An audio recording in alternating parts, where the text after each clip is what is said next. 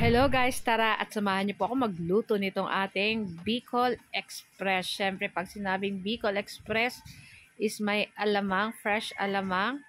And meron tayong sili and siyempre may gata ng niyog. And siyempre, lalagyan po natin yan ng pineapple tidbits wow! para mas masarap itong ating Bicol Express. So, tara na guys. At samahan niyo po ako magluto and enjoy watching na rin po. So, kung hindi pa po kayo naka like or naka-follow sa aming page, ayan, pa-follow na lang po para palagi po kayong updated sa aming mga bagong video na i-upload. So, yan nga guys. So, nagpainit tayo ng itong ating uh, kawali. Nilagay natin dyan yung ating hinugasan na pork. So, yung ginamit natin dito guys is liempo kasi medyo mataba-taba ng konti. Konti lang naman guys yung liempo. Ma, kumbaga, medyo marami din yung laman niya pero syempre may taba-taba yung ganito pagliempo yung kinuha natin. So, nilagyan lang natin yan guys ng asin at paminta. So, papa-brown lang natin ito guys ng side to side. Yung medyo naluluto na yung ating pork para mas malasa na yung ating pork dyan. Paggisa natin ng ating bawang at mga sibuyas.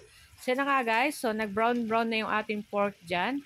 Ayan, medyo ingat-ingat lang tayo pag mga ganito kasi talagang hindi po may iwasan na talagang pumuputok at nagaano yung mantika and syempre masakit to kapag natamaan ng mantika. So, ayan na nga guys. So, igigilid lang natin itong ating pork. Ayan, pakagilid natin ay mag-start na tayo mag-gis dyan ng ating bawang. Ayan. So, medyo matagal na rin po yun. Last time kaming kumain ng ganito kaya ito yung aming naisipang lutuin today. So, yan nga. At ginisa na natin dyan yung ating bawang at isinod na rin natin dyan yung ating sibuyas. Ayan. And then, halu-haluin na natin yan, guys, kasama na ng ating pork. Nako, napakabango na ng ating niluluto, guys. Kaya po ba, guys, ano ang inyong lunch? Ayan. At pagkatapos, yung ating fresh alamang, uh, hinugasan natin yan ng uh, bahagya or ano para mawala yung sobrang alat niya. Ayan, saka tinanggal natin yung may mga shell-shell po bagayan. So, tinanggal natin yung para nilinisan na rin natin. Pat patuloy yung ating uh, alamang. Pagkatapos, naglagay ako dyan ng dalawang sachet na small ng Coco Mama, yung coconut milk. Ayan. Pwede po kayong gumamit ng fresh milk. Ayan. So, naglagay ako ng konting sugar, mga 2 teaspoon. At naglagay pa ako ng salt para talagang malasang malasa yung ating uh, Bicol Express.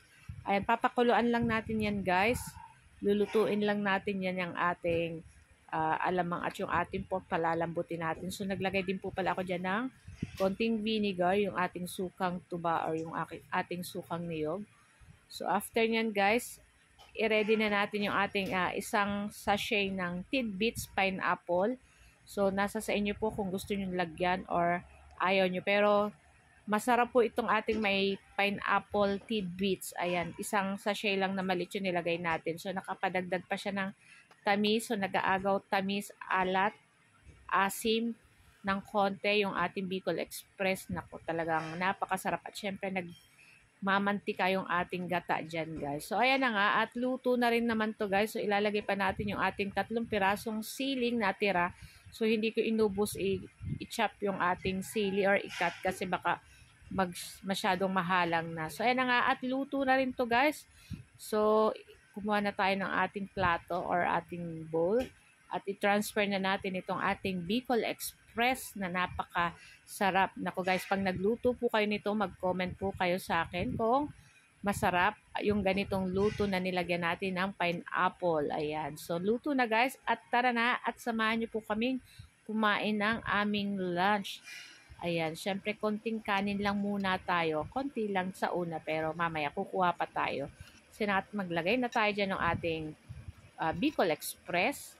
Ayan, napak napakasarap at talagang yung lasa ng ating alamang, yung pineapple, nag-aagaw talaga yung lasa nila guys. Sobrang sarap. So guys, ito lang aming video today. Thank you for watching. See you next video, chat.